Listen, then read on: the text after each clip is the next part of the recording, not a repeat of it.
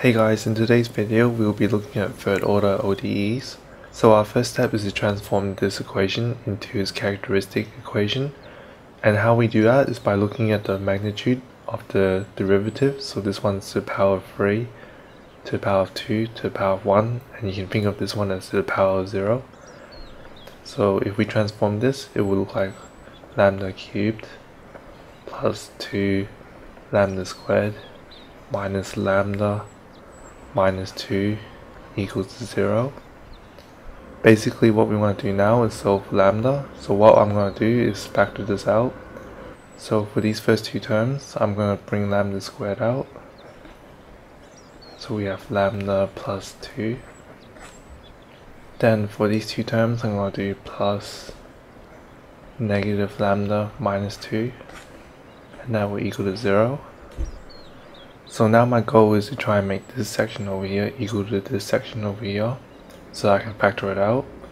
How I would do that is by doing lambda squared, lambda plus 2 minus, so you bring the minus out, this becomes lambda plus 2.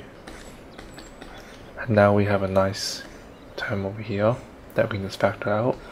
So we have lambda plus 2 times lambda squared minus 1 and that equals to 0. So now the last step to factorizing this is to transform the lambda squared minus 1 to lambda plus 1 times lambda minus 1 and this will give you your solutions that lambda equals to negative 2, negative 1 and 1. So now that we've found lambda we can find our general solution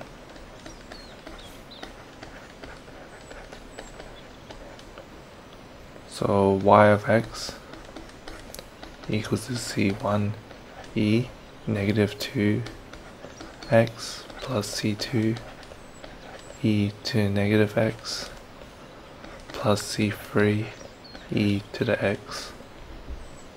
So to get the general solution, what you do is select three arbitrary constants because we have three values for lambda and for each lambda value you choose e and put the constant I mean the coefficient in front of x and this will be your answer.